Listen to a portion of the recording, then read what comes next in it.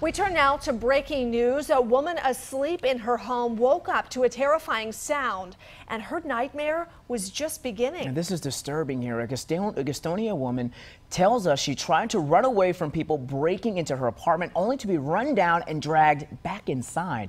All of this happening early this morning on Camelot Court in Gastonia. Our Ken Lemon just spoke with that victim after she was released from the hospital. Ken, I can't imagine how terrifying this must have been.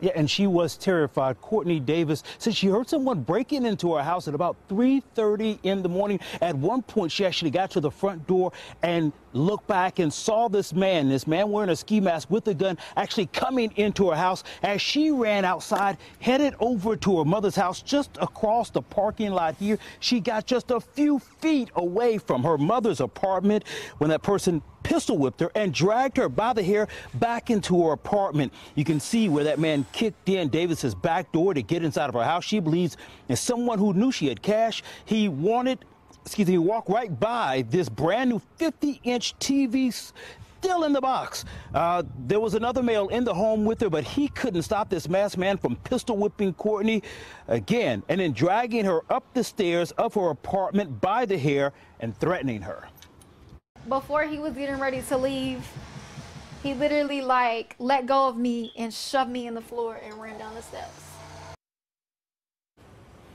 And that masked robber left. Courtney then went for help. She passed out twice, possibly from blows to the head, before they were able to get her over to the hospital. Starting tonight at 5 o'clock, a little bit more about her fight to save herself in her own home, guys. Wow. Glad she is all right and able to tell that story. Ken, thank you.